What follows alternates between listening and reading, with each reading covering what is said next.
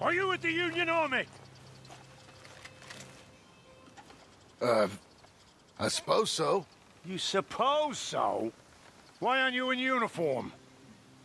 I ain't a soldier. Is that right?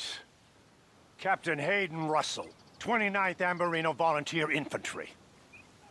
What are you doing out here? We're awaiting orders. We will muster soon and move on Lemoyne to take Saint Denis from the rebels. What year you think it is? Oh, my boy, I haven't been out here that long. 1862. April 14th. I must say, a young man like you neither volunteered nor drafted? You must be a coward, or rich, or both. Crazy old man. You should have a little more respect for the men in service. I will ask you to move along.